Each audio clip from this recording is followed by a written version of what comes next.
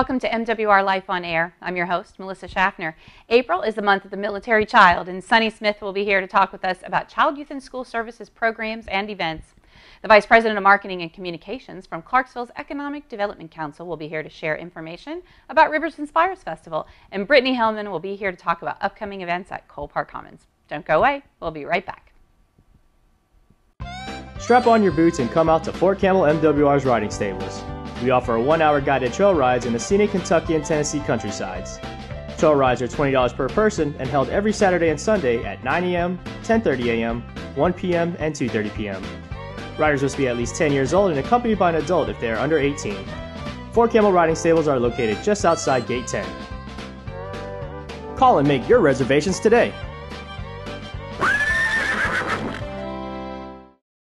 Welcome back. Our first guest today is Sunny Smith from Child, Youth, and School Services. I first have to say, welcome back to Fort Campbell, Sunny. We're so glad you returned. Thank you. It feels like home. I feel really happy to be back. Now, you're going to tell us about what's going on in Child, Youth, and School Services for Month of the Military Child. This is something we do every April, and uh, these programs are for children in our programs on post. Correct. This is the month that we everybody in our whole organization starting in January. We really start to plan so we can celebrate probably the best kids in the world, which are military kids. And the Army and CYSS do some special things uh, for even the smallest children. What are some of the things that, that our parents are going to be looking forward to who have their children in our programs? Probably the biggest parent that really captures the parents' attention is the kickoff parade that all the centers do. And if you're a parent in the center that have used our program before, you've been part of it. Everybody dresses up in their little t-shirts and they go out and they start the kickoff parade for Month of the Military Child. So that's number one. I know that the, the children have a special shirt, and we've participated in the design of those Month of the Military Child shirts at Fort Campbell. So the kids have an opportunity to get the shirt, and um, there's even going to be the 101st band at some of the parades this year, I've heard. Right, they're trying to get the 101st band, which they've had them before, and that's always a hit because if you've ever done anything without music and then with music, and it really just adds to the celebratory nature of the parade. Now I have to ask you, what do you do with the children who aren't ambulatory, who aren't walking yet? How do they get to be in the parade? That's the best part because they have we have what are called bye-bye buggies. It's like baby limos. They decorate them um, with different artwork, and then they get pushed. So they get to enjoy the parade while they're sitting with their caregivers pushing them. Are those those really big buggies that hold like six like kids? six like six of them, right? The baby limos, right? Baby limos. What a great name. Okay, what are some of the other things that'll be happening in our in our centers and maybe in the school age services programs? If you don't go to the centers, if you don't have children in there, you'll be able to see their work uh, throughout the installation, possibly at some off-post locations where they do artwork celebrating Month of Military Child. So that will be on display. A lot of times in the PX um, commissary. And then they do things like mentoring. They do a lot of ice cream socials. At the end of the month, they do a big Kidrific Day, where it's like a carnival, but it's age appropriate for even the tiniest ones up to preschool. Now, if you're in the SAS program, theirs they get um, they get a little more adventurous the older that they get. So they have what are called field days, Okay. where it's you know competition between the buildings. And then my favorite is Cupcake Wars, where the kids um, design cupcakes, their design that they want, bake them, and compete with other buildings who has the best cupcake design. I have to ask, does anybody get to eat these cupcakes? If you watch how they were made, no grown-ups want to eat the cupcakes. Oh, really? What's in them? They're not. Well, nothing's in them. It's just a lot of fingers and hand, not on purpose, Oh. but they, oh. it's not about eating at this point. It's Right. about decorating and winning. And every once in a while, fingers, you know, get in it. And so we, it's really about the process. But yes, at the end, the kids really do start to eat them. I bet. Yeah, and middle school is doing a lot of um, community events. They're going to do like a neighborhood cleanup, and Hmm. then at the family fun fair, they're actually going to do like a booth where Edge and Hired are going to have some activities going on. So it sounds fair. like this goes sort of through all ages that our child, youth, and school services um, serve. I mean, you know, we've got kids from what six weeks to eighteen. Right. And what are some of the other things that um, Child, Youth, and School Services offers? And I know that you mentioned Edge, which is a program for that's middle and high school kids after school programs, kind of try out new things. Right. And Hired is um, where they get to work and it's like a, a work experience. Right. It's where they apply for a certain position, um, kind of like a an intern, but for you know a teenager, and they'll do certain things um, on the job experience, and they actually do get paid. And all the contact information for Edge and Hired is available at, at the Taylor Youth Center. But again, those are two programs that you do have to be registered with child, youth, and school services. But probably my favorite thing that the Edge does is they do an evening um, Easter egg hunt. Oh. And so this year they're doing the camo egg hunt at six o'clock. So that's fun. In the evening, hunting for the Easter eggs is fun. Is it actually getting to be dusk and a little harder to find the eggs? Is that the intent? Right. Or last year they did it inside and turn the lights off and they use flashlights. So depending on, because they're starting it at six, so I'm not sure if it'll be dark enough for outside, if they're going to do it in or out. But they had a, lo- a really large turnout, so they'll probably have a high one again. Somebody needs to think about getting some glow in the dark Easter eggs, I Absolutely. think. Abs- I think so too, yes. Well, you know, as we're looking forward to summer, I'm sure there's going to be a lot of things happening in child, youth, and school services that you want to come back and tell us about summer camps and uh, trips. You know? Absolutely. So I hope that you'll come back and share some more with us soon. Anything we can do to spotlight CYS, absolutely. Yeah, we're looking forward to that. And we want to remind all of our viewers that April is the month of the military child. I'm proud. Hmm, and proud. Thanks, Sunny. We'll be right back after the break to talk about downtown Clarksville's Rivers and Spires Festival. Stay with us. Are you looking for some family fun or something to do for your lunch break? Check out Hooper Bowling Center and Snack Bar. Hooper Bowling Center is fully equipped with 32 lanes as well as a private room for party. Check out the Pro Shop available for soldiers and families for any bowling accessories. Bring the family out for these striking deals such as Dollar Day Mondays and Cosmic Bowling on the weekends. Enjoy burgers, pizzas, and sandwiches from the quick service snack bar. For more information, please call 270 798 5887. Welcome back. Downtown Clarksville's Rivers and Spires Festival is celebrating its 10th year. And here with me now is Robin Burton, the Vice President of Marketing and Communications for Clarksville's Economic Development Council. Welcome to the show, Robin. Thank you. It's good to be here. I love Rivers and Spires, and I just want to hear all about what's going to be new and exciting with Rivers and Spires this year. Just tell us about it. Well, first and foremost, it's our 10 year birthday, so there are a few surprises up our sleeve. I can't tell you yet, but I want to encourage everyone to come down. It's going to be three wonderful days. Um, of course, it starts on Thursday night. Mm-hmm. Public Square Stage will be up and going. We have an 80s cover band playing at 7. That sounds So, like my kind of there music. you go. so for all you 80s fans out there, you'll be a little bit of Falco, Proclaimers, Prince, MJ, you name it, it'll be playing. So we encourage everybody to come out and really help kick it off. And then Friday, um, the festival will open around 5 o'clock that evening. And we'll have um, a couple cover bands. We have a ZZ Top cover band coming. So like there's something for everybody. yeah, absolutely. Um, and of course, Kids Zone opens that evening, which is great for entertainment for the kids.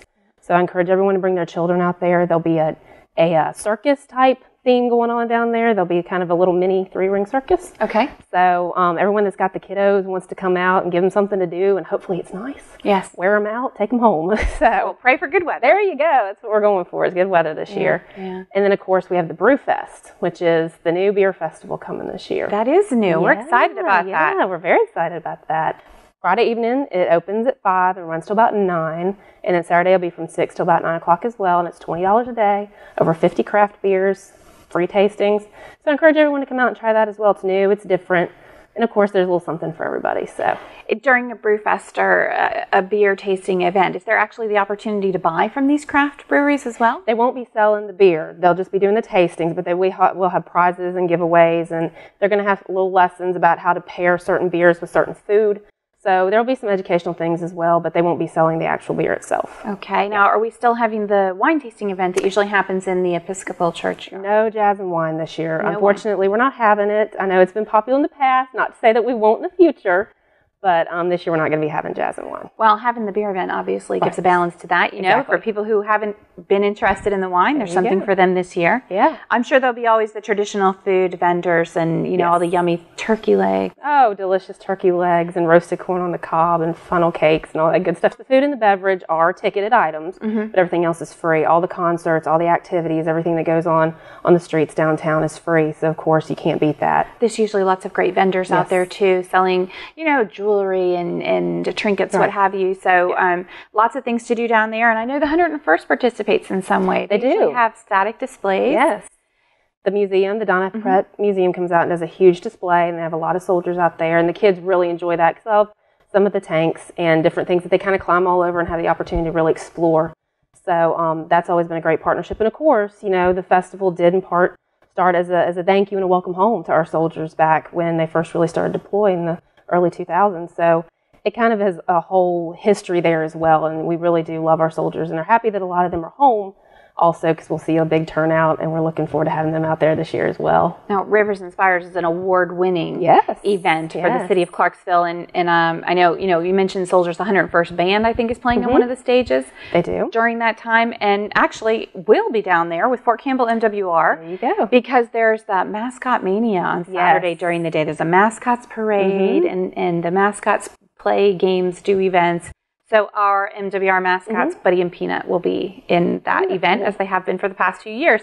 Now, what else is going to happen on that main stage? I'm sure you've got some names that, that people will actually recognize. Coming. Well, of course, Little Big Town is our headliner this year. Saturday night at 9 o'clock.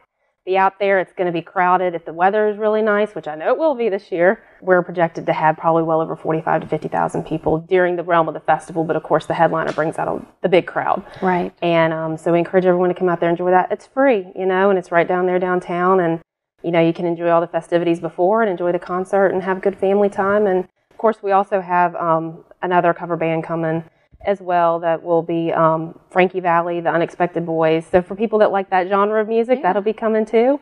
Um, so yeah, it does have something for everybody, and that'll be taking the main stage each night. Like I said, the '80s cover band will be there Thursday. There will be um, another band playing there. The the Frankie Valli Unexpected Boys will be playing there on Friday night, and then of course we'll have Little Big Town on Saturday night. So There's um, Last Band Standing, I think. That's a, a, a Z97.5 Yes. radio station Yes. event. The, the Aspire to Stardom Children's Talent Competition takes place. Uh, there's stages all over downtown, and they all have different kinds of music. There's a Christian music stage. Um, there's probably some teen events down there. There are, well, we have the teen zone as well as the kids zone. So the teen zone will have a lot of things that are geared more to the 13 and up crowd. Um, you know, last year they had the, the jousting and then they had the inflatables where, you know, you run and they pull you back. And then they had like a bull riding thing out there last year. So there are a lot of things that are geared more to the teens. So, you know, it really does go all ages. You just got something for everybody, and it's a great family event. Now, what time do things start on Saturday? I mean, it's all day and evening. Right, Saturday about 10 a.m. will be the time that you'll start to really see things pick up downtown. A lot of the bands will start taking stage mid morning or so. Um, the Christian stage, you know, you'll start having a lot more of the local um, concerts that have that are taking stage there. Um, you know, really the vendors start setting up shop and they're ready to sell early that morning. And of course, you know, we have the arts galore in the marketplace, and you have a lot of the, the vendors from all over the southeast who come in and sell everything from pottery to dresses to sunglasses, you name it. So you can do some good shopping while you're there too. You know, and unique things that you wouldn't find anywhere else. I encourage people, you know, bring a little extra spending money and, and shop too while you're there. Right, and um, I also heard thing I'm looking forward to the most, of course, is that the the Eagles tribute band. Yes, Seven Bridges will be coming. They'll be playing Friday night at 8:30 on Public Square stage. But they're um, an Eagles tribute band. It gives you that whole experience. Hotel California, taking it easy. You know, all the songs that you really love the Eagles and their defining generation or period of time, if you will. They'll be playing, and that'll probably also be a really popular, good draw too. It Friday sounds night. like a lot of the music that's coming is definitely of interest to people in my age and generation. But you know, there's something for everybody, and I would definitely encourage people to come out Yes, to Rivers and Spires. I've been there every year that I've lived here, and I wouldn't miss it. So definitely want to make sure we get out there. Anything else you'd like to share? Where can they get information? Is there a- riversandspires.com. You can go on there. It's a newly designed website this year. So it's a lot more easier to use. You can buy your Brewfest tickets there. You can find out what to do if there should be inclement weather. Um, you can find everything you need to know about the festival and, and what's going on. Thanks so much for being here, Thank Robin. you. Hope you'll come again and talk about some other things that are happening in the downtown and the city of Clarksville. Thank you. Stay tuned to hear about upcoming events at Cole Park Commons. We'll be right back. With literally tons of vehicles on Air Assault Auto's You Buy, You Sell page, it's easy to find the one that suits you and your family best. Whether it be a sleek motorcycle or a comfortable family SUV, you can find it all on the website. Just go to FortCampbellMWR.com, click on the You Buy, You Sell lot link to learn more, and see pictures of current vehicles for sale. Stop by Air Assault Auto today to sell your vehicle, boat, camper, trailer, or motorcycle. MWR serving soldiers, families, retirees, and civilians. Welcome back. I'm joined now by Brittanie Hillman, a developmental chef and management trainee from Cole Park Commons here on post at Fort Campbell. Welcome to the show, Brittanie. Thanks for having me. We're so glad you're here. I want to ask you something about your uh, your management training program. Now, how, how long have you been here at Fort Campbell? A year this past January. Okay, and before that, where were you with MWR? What other places did you get to cook? They stationed me in Hawaii for two and a half months at the Hale Koa on Oahu and the Dragon Hill Resort in, in Seoul, Korea. Wow, so you're bringing some sort of resort type uh, planning to your experience here. I know we've definitely seen a, a, difference in the appearance of some of our events at Fort Campbell. Tell me a little bit about some of the things that you've you've worked on here while you've been working in in Cole Park Commons. I was fortunate enough to be here in time last year for Easter and Mother's Day for the brunches. So it was nice to be able to put my touch on the large spreads of food. Mm-hmm. Um, I've also been able to work on doing a little more upscale platters and things for events, trying to give the guests more bang for their buck, you know, making everything look nicer and I think some of those skills that you know you went to Johnson and Wales, mm-hmm. and some of the things that you've done are you know sort of farewells for command spouses, welcomes for command spouses. Some of the things that you've done are just beautiful. But uh, right now we're looking forward to Easter brunch. Mm-hmm. Can you tell me a little bit about what's going to be on the menu? Well, this year we're trying to do a little more adult and child friendly. So we're doing the waffle stations, the omelet stations, you know, the live action stations that kids really enjoy. They're they can make popular. their own waffles with adult supervision. We're doing adult brunch dishes, really trying to separate breakfast and lunch. So we have some entree dinner items. Fish? Yep, fish, chicken. We have carving stations. So just a different spread because it's hard to hit, you know, exactly one one group. So we're just trying to make something for everybody. Well, I think that there are traditional things that people expect to see on a, on a buffet brunch, but mm-hmm. I know that some of the things you're doing here have really unique touches in sauces, mm-hmm. perhaps in, in tastes. Um, can you maybe describe some of the recipes that you've got planned?